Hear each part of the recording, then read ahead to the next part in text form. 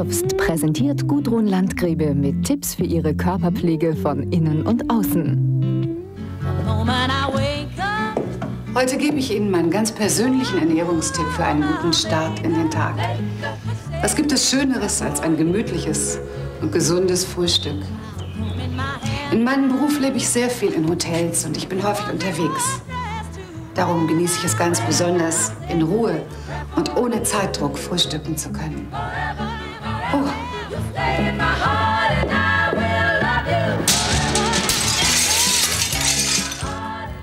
Hallo, morgen. Oh, was sehe ich? Die Tür war ja auf. Na egal, macht ja nichts.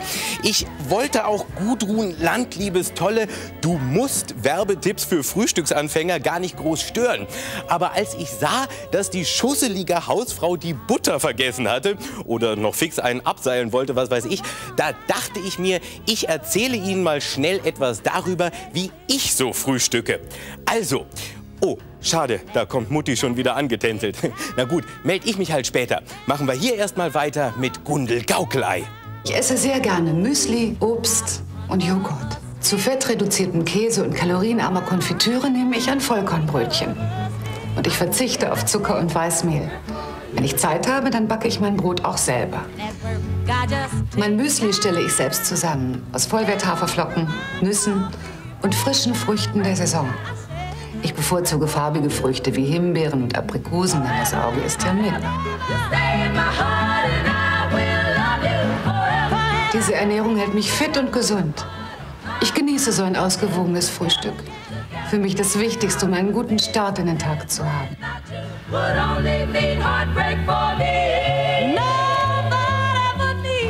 Und in der nächsten Woche erzähle ich Ihnen, wie ich mich auch zwischendurch gesund ernähre. Darfst präsentiert Gudrun Landgräbe. Nein, leider falsch. Ich bin Oliver Kalkofe und ich gebe Ihnen heute meinen ganz persönlichen Ernährungstipp für einen schlechten Start in einen beschissenen Tag. Zum Glück bin ich viel in Hotels und kaum zu Hause, denn in meinem Kühlschrank ist immer alles voller Schimmel. Ich esse gern gehaltvolle Fleischwaren, Fett und schwer verdauliches. Bei äh, Müsli und Joghurt muss ich kotzen.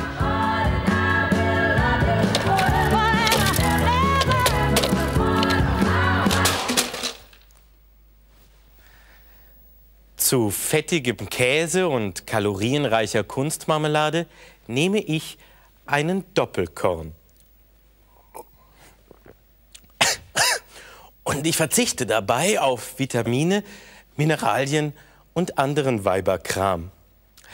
Meine Wurstwaren lege ich mir selbst aufs Brot. Ich bevorzuge farbige Mortadella mit lustigen Clownsgesichtern, denn das Auge ist ja mit.